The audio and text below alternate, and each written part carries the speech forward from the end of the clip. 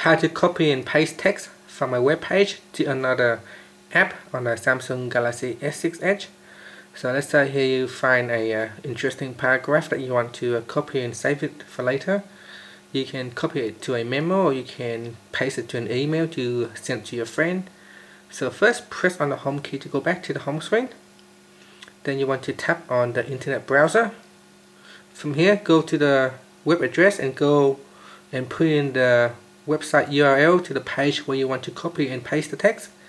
So here I'm going to copy this uh, paragraph for example.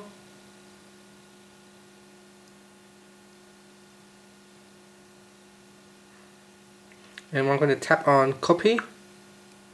Once it is copied to the clipboard you can open up the other apps. For example I've got a memo app here. And simply tap and hold onto a text field and here you can tap on paste. And that paragraph has been pasted into the uh, text field as you can see here.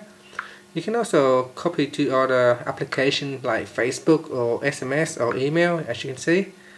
So that's how you can uh, copy and paste text from a web page to another app. Thank you for watching this video